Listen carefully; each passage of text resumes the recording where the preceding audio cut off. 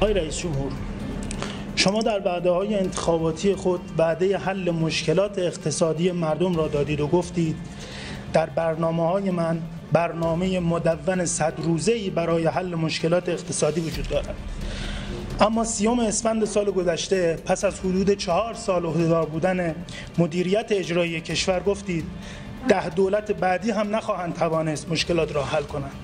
آقای روحانی چه اتفاقی افتاده که نظر شما تغییر پیدا کرد و حل مشکلات از صد روز به چهل سال تبدیل شد؟ خیلی سوال خوبی کردید. من از شما ممنونم. چون یک دروغ بزرگی در بعضی از روزنامه ها و سایت ها پخش میشه و شما این رو بهش اشاره کردید. خیلی مهمه. من کی گفتم صد روز من حل می‌کنم؟ کی گفتم صد روز؟ اونی که من گفتم اینه. گفتم من اگر موفق شم در انتخابات پایان صد روز اول کارایی که در صد روز کردم اعلام می‌کنم. عین صحبت های منو بیارید. بعد یه عده مخرب اومدن گفتن ایشون گفته صد روزه من حل می‌کنم. نکته اول شما خیلی مهم بود چون من چهار سال بود منتظر این سوال بودم که یک کسی از من بپرسه و من این دروغ رو بگم.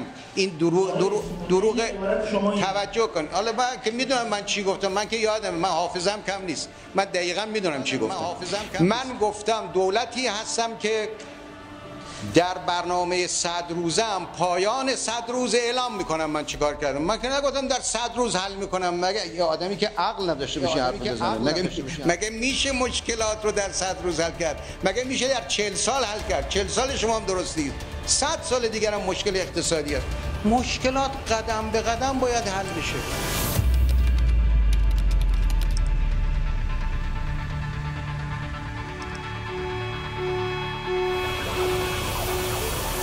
در برنامه مدون من علاوه بر برنامه برای حل مشکلات اقتصادی اجتماعی سیاست داخلی سیاست خارجی و امور فرهنگی برنامه کوتاه مدت یک ماهه و صد روزه وجود دارد. ماهه و صد روزه ما می توانیم در یک زمان کوتاه تحول اقتصادی در کشور به وجود آوریم.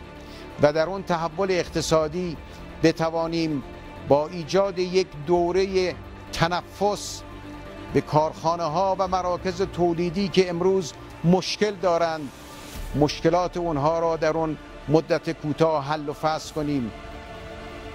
ما با یک تفاهم بین بانک مرکزی و بانک های کارگشا قادر هستیم اون همه اجناسی که در گمرکات ما انبار شده است.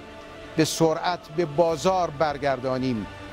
همه اینها در یک برنامه کوتاه مدت امکان پذیر است.